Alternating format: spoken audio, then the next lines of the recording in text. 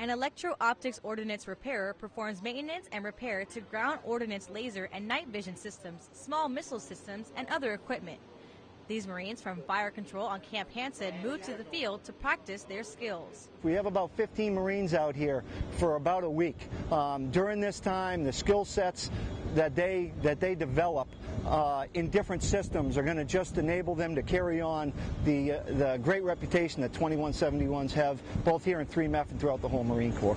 The MOS is divided into four main parts: artillery, night vision equipment, small missiles, and organics. Out of the entire manpower in the Marine Corps, only 516 Marines are qualified for this MOS. Marine Corporal Alisa Helin, Camp Hansen, Okinawa.